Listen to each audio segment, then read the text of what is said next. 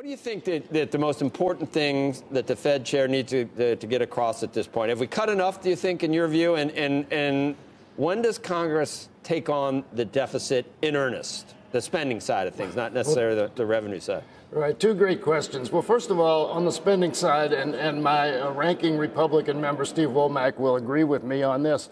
Uh, we really, in terms of the, the, the, funding that Congress has annual control over, uh, what's called discretionary spending, is only $100 billion more than it was in 2011. So we actually have done a pretty good job of controlling that part of the budget over the last uh, eight or nine years. What we're, we're seeing a real problem with is mandatory spending, which is Social right. Security, Medicare, Medicaid, and, and interest on the debt potentially will be a problem, but not right now. So those are those are significant policy questions which have incredible political ramifications. When you have you know, basically two thirds of the, the American people over 65 who depend on Social Security for at least half of their income. Uh, you know, some 50 million people on Medicare. These are these are real issues that uh, are, they're they're not called the third rail for nothing. Mr. Chairman, and, and we oh. talk about them a lot, but yep. this is one where you're going to have where Republicans and Democrats, if we're going to do anything, have to walk the plank together. And even when we tried that, it hadn't worked. I, remember Simpson Bowles, and I remember. Yeah. I mean, we know about unfunded liabilities. We know about mandatory spending and, and, and a lot of the the looming um, deadlines where we have to do something. Right. But we're, we're not talking about that. Not only that, we're talking about the expansion of some of these entitlements logarithmically, and, and I'm not necessarily from Republicans, but, but some of the your presidential candidates uh, in the Democratic Party are. Are you comfortable with, with expanding these entitlements beyond where they are right now? You're in well, Kentucky, I'm maybe not. I'm comfortable with talking about it. Uh, you know, one of the things that one of the bills uh, before the Congress right now, the Medicare for All bills, basically just takes all of the money being spent on health care everywhere in the country and shifts it onto the federal tab which, if, if done, would be the greatest giveaway to corporate America ever, because it would relieve all the, all the employers of any obligation and, and shift it onto the, the, the entire taxpaying public.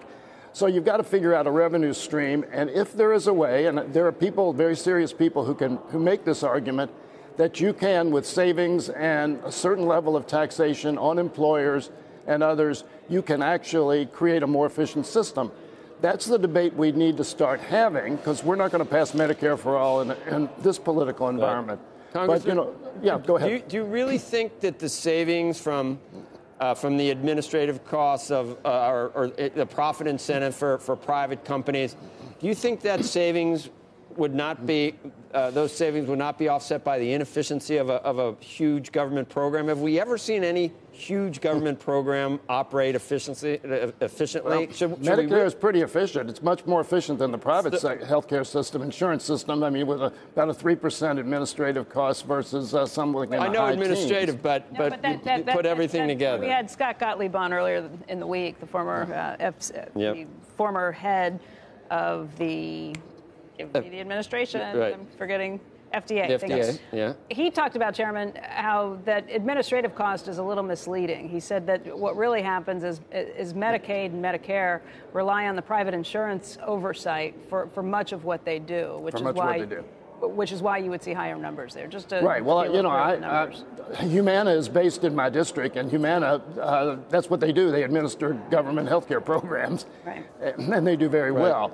But getting back to Jay Powell for a minute, yep. uh, what, what I think we ought to know, want to know from Jay Powell is two things primarily. What's happened as a result of lowering and raising rates? Has it really made that much of a difference? And what kind of a difference it has made?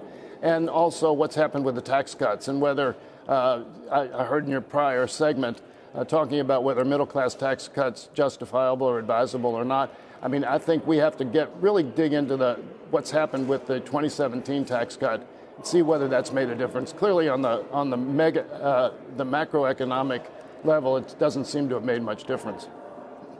All right, I was going to talk to you about overall what's happening in, in Kentucky, whether it's how blue it is right now. But uh, but then I thought about blue, and I thought about Kentucky and Evansville, and I, I, I mean, uh, what happened there?